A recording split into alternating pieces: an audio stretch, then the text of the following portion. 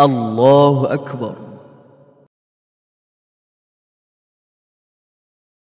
الحمد لله رب العالمين لقد خلقنا الإنسان في أحسن تقويم Allah Subhanahu wa taala sampun menciptakan makhluk manusia dalam wujud yang ahsani takwim, yang paling bagus, yang sempurna itu diri kita. Maka wajib kita bersyukur kepada Allah Subhanahu wa taala bahwasanya kita ini makhluk ciptaan Allah yang sempurna. Sehingga ada uh, hadis Rasulullah yang kadang diriatkan untuk doa bercermin tetapi sebetulnya tidak Allahumma kama hasanta khalqi fahassin khuluqi Ya Allah engkau yang telah membuat rupa sebagus ini sesempurna ini fahassin khuluqi maka perbaikilah akhlakku nah, jamaah insyaallah dirahmati Allah tidak ada satu orang pun di sini kalau ngoco ngoco niku napa? Bercermin ya, bercermin, bercermin seperti ini itu akan mengutuk dirinya sendiri enggak ada. Misuh-misuh bahasa kita. Ada Mas? Nek ngoco mesti ya Allah gantengnya gitu kan. Astagfirullah, elek tenan enggak ada. Pasti akan memuji ciptaan Allah Subhanahu wa taala kita pasti akan memuji. Maka Allah Subhanahu wa taala itu sudah betul-betul menempatkan bagian tubuh kita itu sempurna tiplek mata dua telinga dua hidungnya menghadap ke bawah bayangkan hidungnya itu hidung menghadap ke atas terus pripun modelnya sudah lengkap sekali maka barang siapa bersyukur kepada Allah Subhanahu wa taala atas setiap lekuk tubuhnya, kita biasakan diri untuk mengucapkan basmalah. Bismillahirrahmanirrahim atas apa pun yang kita lakukan dalam kehidupan sehari-hari. Jamaah, sebetulnya setiap Senin ketiga itu materinya adalah Sirah Nabawi ya. Ya, ya tadi ya. Sirah Nabawiyah. Ya, kemarin kita masuk ke mukaddimah itu tentang nabi dan rasul. Separuhnya tentang Nabiullah Muhammad sallallahu alaihi wasallam. Nabiullah Muhammad SAW dibagi menjadi tiga yang pertama sebelum beliau diangkat menjadi nabi dan rasul ya saat kelahiran masa kecil beliau terus saat dakwah beliau awal diam-diam di Mekah. Lalu yang ketiga periode saat dakwah beliau setelah hijrah ke Madinah. Nah tetapi karena ini event khusus berkaitan dengan kegiatan Eh, tadi pekan ketiga tahsin Quran maka kita lanjutkan materi tentang bagaimana diri kita supaya menjadi umatnya Rasulullah Shallallahu Alaihi Wasallam yang senantiasa mengikuti sunnah-sunnah beliau. Mungkin materi singkat ini nanti agak saya akan mencontohkan secara detail. Tadi sudah dibahas pada kajian uh, sore di bawah kita bahas ulang tentang kaidah kita mengucapkan basmalah atas segala perilaku kita. Nah, ini ini contoh nggih. Datang satu air mineral. Terus kula nyolokkan ini sedotan Bismillahirrahmanirrahim. Monggo yang ajeng munjuk kula paringi contoh. Setelah saya baca Bismillahirrahmanirrahim, ada yang teguk sekali sebanyak tiga kali, ada yang sekali teguk menelannya tiga kali. Walaupun sekedar itu saja, kita sudah mencoba mengikuti sunnah Rasulullah Shallallahu Alaihi Wasallam. Beda orang anggo basmalah dibuka ngombene dijegluk jegluk glukuk glukuk glukuk glukuk ngelak beda itu baru Bismillah ya. kenapa kita harus perlu Bismillah di sini Bapak Ibu jamaah dirahmati Allah diperhatikan ya. Apakah bisa dengan tiba-tiba mak pedunduk air mineral ini ada di meja saya? Tidak. Enten Mas wow Mas Mas Munir ya, membawa air mineral ke sini. Kita belum mikir siapa orang yang ngelim nih, apa namanya nyetoki, nutupi plastik. Siapa yang bikin plastik ini? Siapa yang bikin kerdusnya? Siapa yang ngirim sampai Masjid Fatimah? Airnya ngambil di mana? Siapa yang nyuling airnya? Tenaga yang membawa airnya? Siapa pun yang membuat air ini ada di Masjid Fatimah, terus kita mengucapkan basmalah bismillahirrahmanirrahim terus ngunjuk siapa tahu Allah Subhanahu wa taala memberikan kebarokahan kepada semua makhluk yang membuat air minum ada di sini. Itu cuma sekedar ngunjuk minum saja belum yang lain. Belum roti gitu. Bismillah lagi. Belum roti enak di gua eh bahaya. Kalau kita sudah mengambil bagian kita, habiskanlah. Karena semua bagian itu barokah dari Allah Subhanahu wa taala. Jangan sampai kita ma'amrati ugo diicip ora enak terus diguak, jangan. Paksakan diri itu jatah kita. Itu bismillahirrahmanirrahim. Ingin melanjutkan bab e, tentang sunnah kecil yang sering kita lewatkan karena hanya faktor kita kurang bisa maksimum mengerjakannya.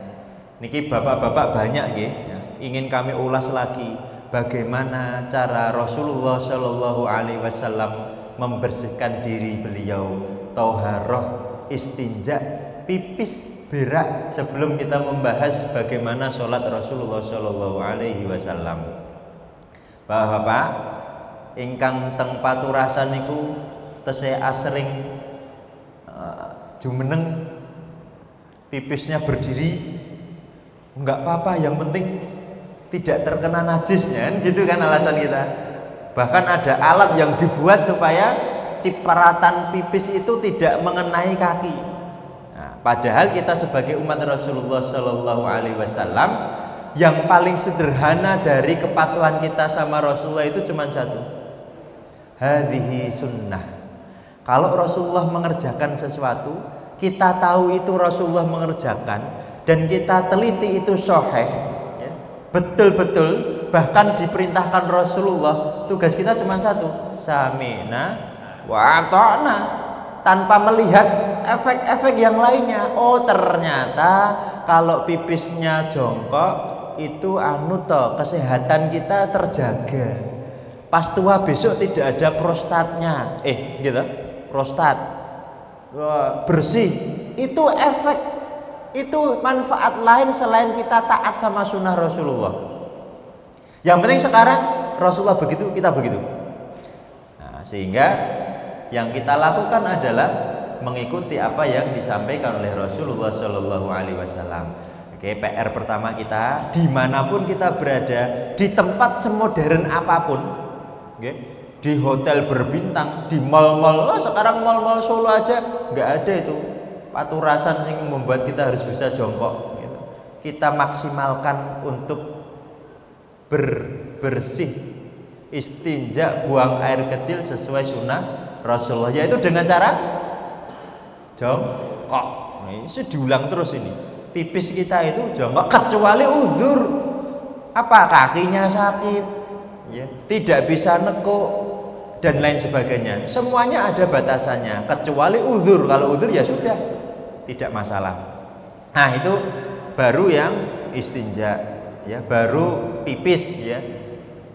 Terus apalagi? Banyak sekali. Ketika kita mengucapkan bahasa malah mengingatkan kita semua bahwasanya sendi-sendi bagian dari semua sendi kita itu perlu bersyukur kepada Allah Subhanahu wa taala. Bapak-bapak, ibu-ibu rahimani rahimakumullah. Bismillahirrahmanirrahim mau makan. Bismillahirrahmanirrahim mau duduk. Bismillahirrahmanirrahim mau naik mobil. Buka saja Bismillah. Masang PC saja Bismillahirrahmanirrahim. Apa pun yang sering kita lakukan dalam kehidupan sehari-hari Kita biasakan untuk mengucapkan basmalah sebelumnya. Udah satu itu dulu. Clear semuanya permasalahan kita. Diberi kemudahan sama Allah subhanahu wa ta'ala. Itu bahwasanya kita meniatkan diri semuanya kepada Allah Subhanahu wa taala. Lah HP, HP juga demikian ya. Bismillahirrahmanirrahim buka HP padahal buka HP terus-menerus ya. tidak berhenti. Bapak Ibu jamaah yang dirahmati Allah Subhanahu wa taala. Lalu yang kedua, bagaimana cara kita memaksimumkan untuk bisa mengikuti sunnah-sunnah Rasulullah Shallallahu alaihi wasallam. Jangan sampai diri kita menyepelekan. Jadi ada sunnah, jangan sampai kita menyepelekan. Setiap ada kemudahan itu dicoba untuk eksekusi. Setiap ada kesempatan kita coba untuk melaksanakan. Contohnya begini, kita tidak perlu sampai ke contoh sunnah-sunnah yang besar. Ya. Ketika ada kesempatan untuk melakukan amal kebaikan, ini ini uh, apa namanya uh, tafsir dari amalan niat yang sudah diberikan oleh Allah. Jadi ketika Allah memberikan kemurahan kepada kita untuk melakukan sesuatu, tiba-tiba tiba-tiba ada halangan, ada sesuatu yang membuat kita menunda, maka sebaiknya kita harus tambahkan niat untuk melakukan amalan tersebut. Ini contoh sering kali kami sampaikan. Kalau kita lewat jalan raya, nggak usah jalan raya, ngapunten, Masjid Fatimah pun pas di Masjid Fatimah kita mau sholat, mau sholat, terus di tempat daerah sujud kita itu ada satu kotoran sobekan kertas kayak atau sobekan bekas air mineral. Yang sering kita lakukan apa coba? Damu. Nah, nyebul pak. Meniup. Wah tangi kabeh sing wingi niup supaya apa? Supaya bersih. Padahal sunnahnya apa? Ambil sekecil apa pun yang kelihatannya itu menurut kita kotoran. Kalau disebul ini kotoran bukan berarti? Kotoran aja ambil dikantongi terus nanti ketika keluar masjid ada tempat sampah kita keluarkan. Dimasukkan ke tempat sampah. Cubi nek iki enek karpete mesti dijipuk tapi lebok wingi sor karpet. Sekecil itu pun kalau kita sudah terbiasa tahu, oh ternyata, ternyata sekecil itu pun membuat kita masuk ke dalam golongan yang mendapatkan rahmat utama dari Allah Subhanahu wa taala. Kenapa? Keutamaan rahmat dari Allah itu ciri-cirinya salah satunya diberikan kepada orang-orang yang unik unik, terbatas dan jarang orang melakukan seperti qiyamul lain. Ya betul. Qiyamul lain itu kan unik, wong-wongnya mesti radikal-radikal, tenanan. Nek orang tenanan ra mungkin saged salat lain. Salat subuh ya angel kok. Allahu akbar, Allahu akbar, ya tangi.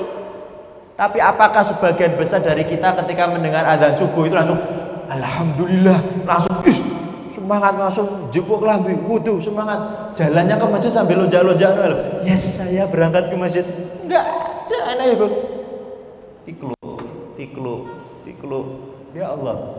Eh gitu mau bahas yang kecil-kecil. Kalau yang kecil-kecil itu saja sudah kita masukkan dalam sanubari kita meniatkan amal kebaikan terus dieksekusi insya Allah yang besar-besar akan ikut. Ya. contoh lagi ya melihat apa sampah di jalan. Itu kan kita cuma ngerasa nih tok kata Rasulullah selemah-lemahnya iman itu ketika melihat kemungkaran apa? Batin tok gitu. Ya alhamdulillah saya tidak termasuk demikian ya itu selemah-lemahnya iman padahal Rasulullah ngendika kalau kita bisa merubah dengan tangan rubahlah ya sudah kalau ketemu sampah di jalan ya jogur ngerasani wah tumpahan motor besar ngombene Coca-Cola baru tek buah dus. Kula tumpakane Supra, gur ngrasani. Alah, motore gede, buang sama sembarang. Ya padha mawon. Saya menjadi bagian dari selemah-lemahnya iman. Kalau pingin seperti umatnya Rasulullah, parkir Suprane, parkir. Terus ngapain? Cari botol yang dibuang tadi. Setelah cari, cari tempat sampah, terus eksekusi. Itu baru umatnya Rasulullah Sallallahu Alaihi Wasallam. Kecil betul itu kecil tapi banyak yang melakukan jarang bagaimana rahmat utama Allah datang ke kita kalau yang kecil-kecil itu kita masih alah kayak ngono padahal lo ya padahal malaikat diturunkan oleh Allah ngabulkan doa kita saat itu Bapak Ibu dolan safar ke mana-mana gitu. Setiap safar jauh niatkan pahala jariyah dan sodakoh ada dalam diri kita.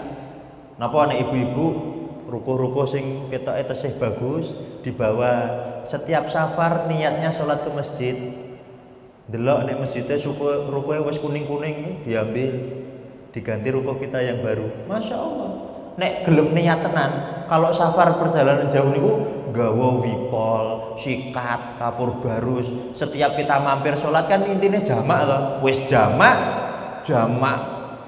Napa mulai? Kosor, wis kosor, takhir. Wis wis dijamak, dikosor, takhir. Mampir masjid. Tinggalkanlah sesuatu yang membuat nama kita dicatat di level mahfud. Tinggalkanlah sesuatu yang membuat nama kita diingat-ingat oleh malaikatnya Allah. Inilah sekecil ini bermanfaat. Wangger wudu kepleset langsung wipole soke langsung kosok se lupa kok lama men? Se tak ngeresi tempat wudu. Masya Allah keren banget. Tapi itu hal yang sangat mungkin jarang terjadi dimulai dari itu saja dulu ya. Sekecil sampah ya. Di jalan kita mau eksekusi sodako. Kadang-kadang kan banyak tuh eksekusi sodako itu tertunda. Karena apa? karena setiap niat baik kita sama Allah Allah kalau cinta sama kita itu langsung diuji. Diuji dengan kebaikan. Ya. baru mau jalan terus lihat bapak-bapak naik beca kok mesake banget delok kandongan kali nyupir buh enek saya ketahui wis iki mungkin jatah bapak eh lagi dituntut nih iki bangjo ijo. Ya, itu ujian loh itu ora situ nggak ide saya ketemu kalau sebagai umatnya Rasulullah bagaimana? Ini sudah kami sampaikan sering. Ya puteri dalannya ku meleh puter lagi hmm, perapatan belok kiri muter lagi ketemu bangjo yang sama tapi pun melipir kiwo kenapa? Saya ingin mengeksekusi niat sodako saya yang 50 ribu tadi. Kalau diuji Allah kita langsung bablas. Ya wes kapan-kapan welah kok enek kesempatan. Ya sudah hilang. Hilang. Allah sering menguji kita dengan hal demikian. Merasakan bapak-bapak wuh sering sekali ya terutama bangun tidur seperti malam kebelet pipis itu wah kesempatan ya tapi gur pipis terus balik tidur melek Sebetulnya kita diberi kemurahan dari Allah Subhanahu wa taala banyak. Kecintaan Allah kepada kita itu banyak banget. Cuman kita belum berani eksekusi niat. Kita kasih contoh lagi tentang basmalah. Ini banyak pemuda gitu. Wow, pemuda, pemuda, pemuda, pemuda. Wah, nom nom. Banyak yang belum nikah ini, insya Allah. Ketika ketika ada hadiah dari Allah bagi pemuda yang bisa sholat berjamaah di masjid saat sholat subuh ya, berjamaah di masjid berturut-turut sampai 40 kali berturut-turut dihadiahi oleh Allah Subhanahu wa taala bidadari surga yang cantiknya lebih cantik daripada wanita tercantik di dunia. 40 kali lebih cantik. Menghitung bicara ini wong ayu ning donya sing paling ayu ping keping petang puluh.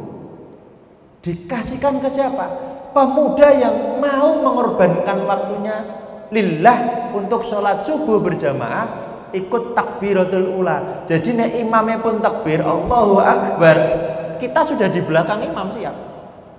Hadiahnya apa? ya Allah bidadari yang cantiknya 40 kali lipat. Tapi sayangnya muspro napa? Karena buatan tampak dia karena nggak tampak. Coba pengajian yang hadiahnya umroh niku kebak loh kebak kenapa? Umroh lain umroh loh umroh. Sepeda santai. Hadiahnya apa? Rumah. Sing ra duwe pit nyileh kok. Pitmu mbok ora ya wis tak ya lah apa? Besok ada sebenarnya. Kenapa? Hadiahnya tampak. Lari. Ora tahu lari melu lari. Lah apa? Hadiahnya mobil. Kita nggak punya kemampuan apa-apa akan berusaha mengejar. Kenapa? Karena wujud. Hadiahnya tampak. Kita lihat anak-anak kecil. Mungkin yang sampai sekarang ada di dalam diri kita. Anak-anak ayo adik-adik siapa yang hafal surah al-maun? Meneng diem. Padahal ada yang hafal. Ayo, ayo anak-anak, yuk tunjukkan nih siapa yang hafal surat Al-Maun. Yo, ayo, ayo, menang kabeh. Bareng ditututke. Ayo saya hafal surah Al-Maun, saya ketahui atau kabeh. Padahal ora hafal. Kenapa? Hadiahnya wujud. Fitrahnya manusia demikian Bapak-bapak Ibu yang selalu dirahmati Allah. Bayangkan ketika hadiah Allah itu wujud. Masjid Fatimah ini ben subuh kebak, mboten sing sepuh, sing nom-nom. Kenapa? Lah kuwi bidadari ini ayu tenan, bayangkan. Tapi Allah Subhanahu wa taala membedakan mana orang-orang yang bertakwa yang ada di jalannya dan mana orang-orang yang sesat itu adalah janji Allah dipercayai atau tidak. Masuk di arkanul iman.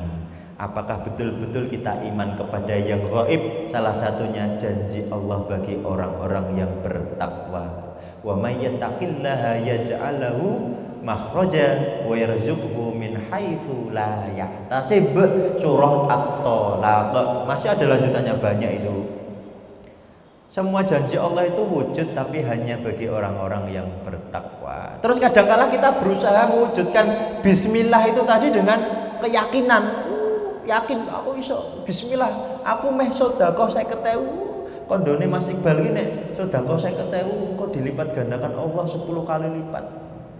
Dinteni sesasi ora teko, rong sasi ora teko, alah hapus-hapus.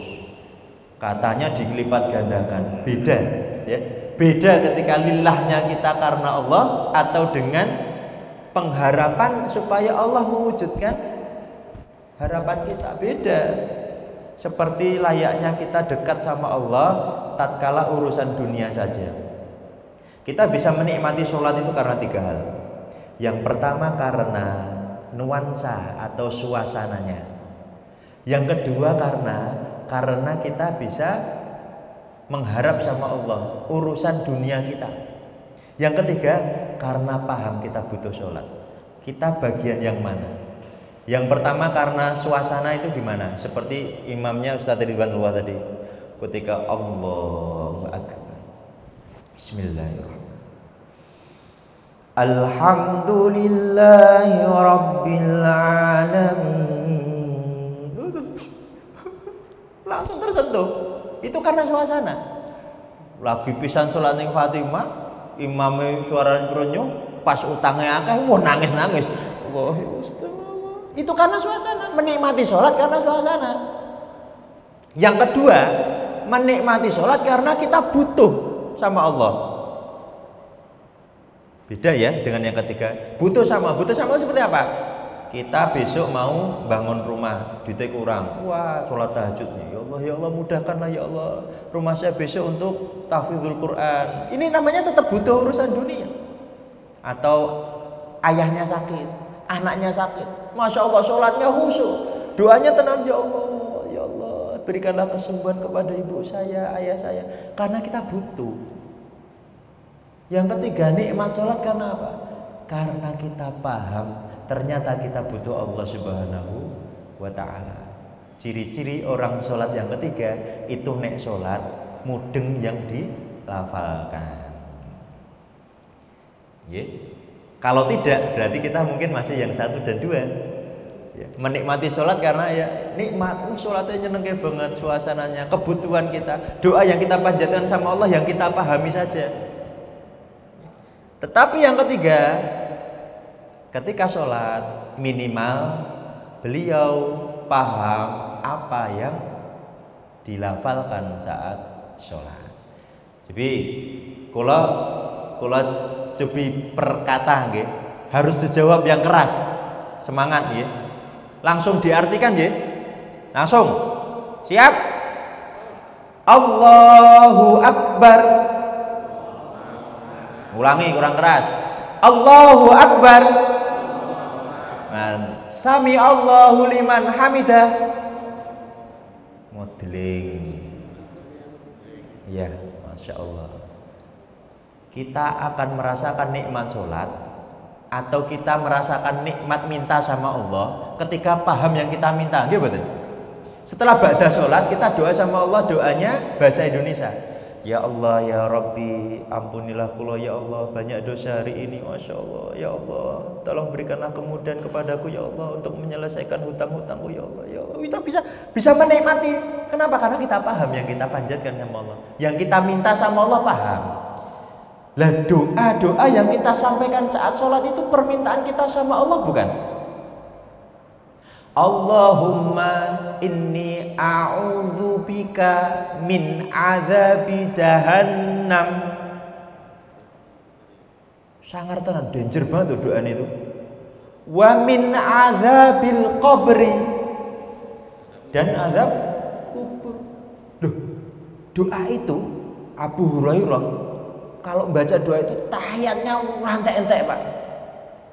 Kenapa? Karena deg-degan ketika yang dilantunkan doa supaya dibebaskan dari siksaan jahanam dan siksa kubur. Awak ede seorang mudeng. Assalamualaikum warahmatullahi wabarakatuh. Nikmat. Coba kalau kita paham, ya Allah ya Rabbi. Allahumma ba'id baini wa baina khotoyaya kama ba'atta bainal masyriqi wal maghrib. Ya Allah jauhkanlah dosa-dosaku seperti kau menjauhkan arah timur dan barat. Jadi ketika kita sholat itu ya seharusnya demikian. Allahu Akbar. Fa'in mulutnya melafalkan hatinya menerjemahkan. Kita bukan orang Arab Pak. Orang Arab saat metu-metune paham bahasa Arab gitu. Ngomong nopon paham lah kita harus berusaha untuk menikmati sholat minimal apa yang kita lafalkan dalam sholat itu kita maknai. Ada dalam hati kita. Alhamdulillahi Rabbil Alamin. Segala puji bagi Allah Rabb semesta alam. Mesti sholatnya orang merungsung. Orang mungkin cepet dan tidak boleh dibatin. Yang batin itu cuma terjemahnya, lafalnya tetap diucapkan. Sholat yang khusyuk itu bukan sholat yang meremelek. Oh, Allah. Ya Allah Akbar. Setelah itu ya wes bandeng goreng kunci telenovela bal-balan badminton wah keluar jadi ada dua otak yang kita pakai yang pertama otak untuk melafalkan ini sunnah Rasulullah loh. Rasulullah itu baik jahar maupun sir itu lafal semua. Ketika sholat yang suaranya keras didengar jamaah, lafal. Komat kamit. Qul huwallahu ahad. Ketika sholat sendiri, sholatnya asar, apakah beliau batin? Hmm? Jubi bapak-bapak sholatnya batin, mesti cepat banget. Mesti ini walad dolin, oh, dibatin oh. Amin. Wah, cepet tenang. Tapi kalau dilafalkan, yang namanya sir, diem, itu artinya dilafalkan tetapi tidak mengganggu sebelah kanan dan kiri ketika kita melafalkan bacaan sholat. Ya tetap. Alhamdulillahirrahmanirrahim Masya Allah. Menikmati. Jadi kalau mau belajar sholat khusyuk Itu bukan bagaimana cara membuat sholat kita itu tidak sadar Sholat khusus mengutamakan merme angel tenan. Allahu Akbar. Ki sholat subuh gitu. Ngerti-ngerti tahiyat. Tuh. Rampung ini. Padahal yang namanya sholat khusyuk itu ciri-ciri yang pertama selain menyempurnakan wudhu, yang kedua memahami apa yang dibaca. Jadi saat sholat itu komat kamit itu termasuk kategori sunnah. Allah iya kan mustaqim. Nah, jadi kalau sholat sunnah, sholat lail di rumah, sholat duha, sholat-sholat yang kita lakukan sendiri, itu usahakan bacaan-bacaannya yang kita hafalkan maknanya. Ya, trikul itu ya hafal kafe game. Kul huwallahu ahad, Allahus samad, lam yalid wa lam yulad. Dan artinya supaya kita menikmati sholat seperti yang dicontohkan oleh Rasulullah Shallallahu Alaihi Wasallam. Loh, Tat Ali bin Abi Thalib loh, coba saat sholat bisa dilepas busur eh panahnya. Katanya dia merasakan apa? Spesial momen kalau bahasa kita. Apakah Ali bin Abi Thalib radhiyallahu an setiap sholat demikian? Tidak, itu karena Ali bin Abi Thalib radhiyallahu an ketika selesai perang mau dicabut anak panahnya oleh sahabat beliau, ditunggu dulu sebentar. Nanti ketika saya sholat cabutlah. Jadi Ali minta sama Allah, sama Rasulullah, ya Allah, jadikanlah ini sebagai nikmat syukurku kepadamu. Jadi pas sholat itu dicabut anak panahnya, nggak kerasa, bibar sholat lagi kerasa. Itu spesial momen, acara khusus Ali bin Abi Thalib Bukan setiap sholatnya tidak sadar. Terus seperti Tariqah Nasabandiyah itu, sholatnya memang katanya bisa sampai ke Mekah Al Mukarramah. Setiap sholatnya beliau itu di depan Ka'bah. Pret. Ya sholat jadi kiblat ya, itu tempat sujud kita. Pengen khusyuk ya menghadap tempat sujud, tegap menghadap kiblat, Bismillah lillahi ta'ala niatkan kepada Allah subhanahu wa ta'ala lafalkan. Berusaha untuk memaknai apa yang kita panjatkan kepada Allah subhanahu wa ta'ala. Rasulullah ngendika hei para sahabat ketika ada ular yang lewat di depan kamu saat sholat bunuhlah. Cubi sholatnya sadar betul nih berarti? Sadar melek betul melek nek melek yang betul ngerti nek ular lewat Oh kita sudah seperti itu tak nyamuk lewat dong nyokot wis dingenek kok kita. Kita ukur-ukurnya senikmat tok salat wis kita sadar dulu yang pertama sadar ya. Terus contoh lagi ketika Rasulullah terlambat untuk mengimami sholat Bilal bin Robah terus wah ini sudah wis ikomah yang maju Abu Bakar Siddiq radhiyallahu. Pun tapi ketika Rasulullah mendekati tempat sholat jamaah para sahabat tuh bingung kabeh wajahnya iki yakin iki Rasulullah datang ini.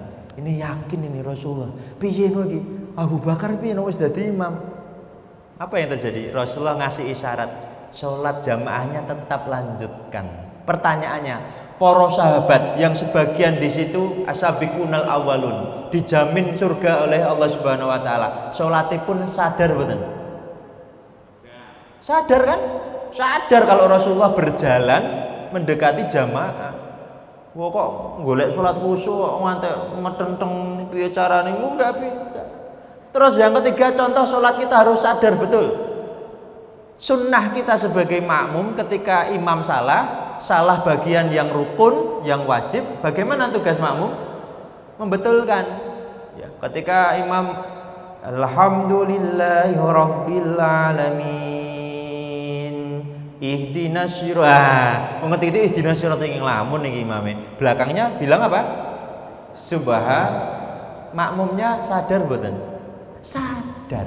Jadi sholat khusyuk niku sadar.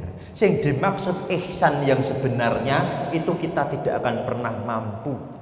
Ihsan bahwasanya kita bisa melihat Allah Subhanahu wa taala sehingga kita sungguh-sungguh beribadah lillah itu tidak akan mampu. Karena kita tidak mampu, maka ihsan kita adalah yakinlah bahwasanya Allah itu senantiasa melihat apa yang kita lakukan, terutama saat beribadah. Ihsan kita sama Allah. Lillahi taala. Bismillahirrahmanirrahim. Jamaah insyaallah dirahmati Allah Subhanahu wa taala, ini menjadi PR kita bersama. Apakah sholat kita sudah demikian? Ya.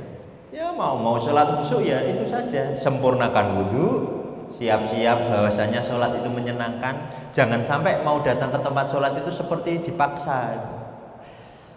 Ya Allah ngerti-ngerti ya wis maghrib. Lagi dilit ini maghrib. Nah itu berarti ada ada ciri-ciri orang yang lalai dalam sholatnya. Surah apa itu? Yang menyebutkan lalai. Rugilah orang-orang yang melakukan sholat. Al-ma'un. Pas ngisa ara'aital ladzi yukadzibu biddin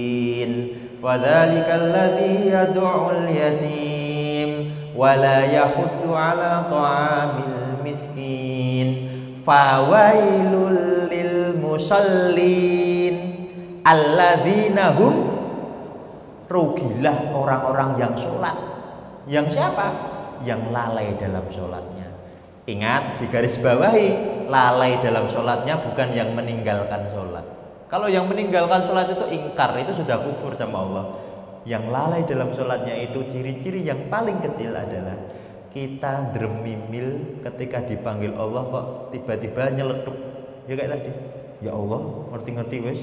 maghrib itu termasuk lalai atau ketika dipanggil Allah kita asemi ya ini nah itu lalai banget apa nih gue asemi itu tadi atau lalai berikutnya mendahulukan sesuatu yang di luar kewajiban kita kosek-kosek santai sholat ngasar ijik ketuk meh maghrib nah itu lalai itu lalai betul atau yang ketika mau melaksanakan sholat nyepelek ke Allah subhanahu wa ta'ala jadi wis meh salat ijik ngobrol, ijik santai, ijik pira-pira regane pira? Wah, 700 wae.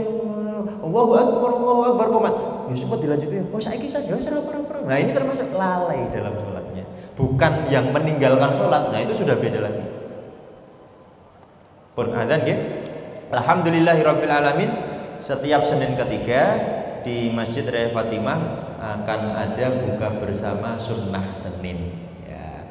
Maka jamaah yang longgar bisa hadir di Masjid Raya Fatimah terus dilanjutkan kajian pada maghrib bersama di lantai dua. Semoga kita semua digolongkan oleh Allah Subhanahu Wa Taala menjadi bagian golongan orang-orang yang bertakwa, dimudahkan urusan dunianya, dimudahkan urusan akhiratnya, dan disempurnakan oleh Allah Subhanahu wa taala dalam keadaan yang paling sempurna ketika Allah memanggil kita di dunia ini dengan gelar husnul khatimah. Amin ya rabbal alamin. Allahumma ighfir lil muslimina wal muslimat wal mu'minina wal mu'minat al ahya'i minhum wal amwat. Innaka sami'un qaribun mujibu da'wat ya qadiyal hajat. Allahumma ighfir lana wa li ikhwanina alladhina sabaquna bil iman. Wa la taj'al fi qulubina ghillan lil ladzina amanu. Rabbana innaka ra'ufur rahim. Rabbana atina fid dunya hasanah wa fil akhirati hasanah wa qina adzabannar walhamdulillahi rabbil alamin Allahumma arhamna bil Qur'an wassalamu alaikum warahmatullahi wabarakatuh